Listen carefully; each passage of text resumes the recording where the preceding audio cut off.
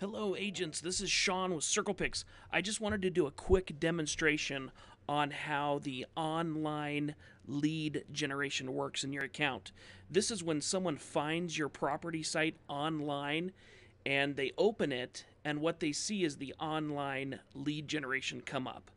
Uh, so let's log into a CirclePix account and learn how to turn on online lead generation. I'm going to click on the login button for my account.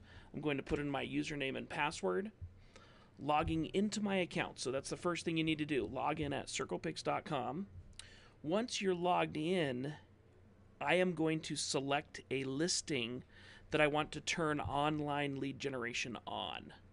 So I'm going to go to my drop down menu here where I can choose a tour. I'm going to find this tour that I need to choose, find the property address, click select listing. Once I've selected my property, I'm ready to work on that property. Right now it's pulling up my property. The first thing that you see are all the tour links. And the question that many people have is how to turn on this online lead generation. So right here in the account, do you see this? I'm going to highlight this for you. It says view Leadbee leads.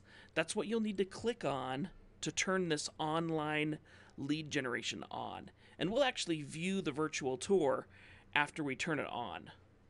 So mine already is turned on. Do you see this up here? It says online lead generation registration page. It's check marked. I have my lead generation turned on. So when we click on the tour, view virtual tour, we should see that online lead generation. And we do, it's right there. So now, whenever someone finds my tour on homes.com or Zillow or Facebook and they open the virtual tour, this is what they'll see. Now they have a chance to put information in and be contacted by me, giving me a lead, and they're going to get the information that they want. Now, we know that everyone does not want to leave a lead for you. So, if they choose not to, they can click skip to the tour. That'll take them right into the virtual tour.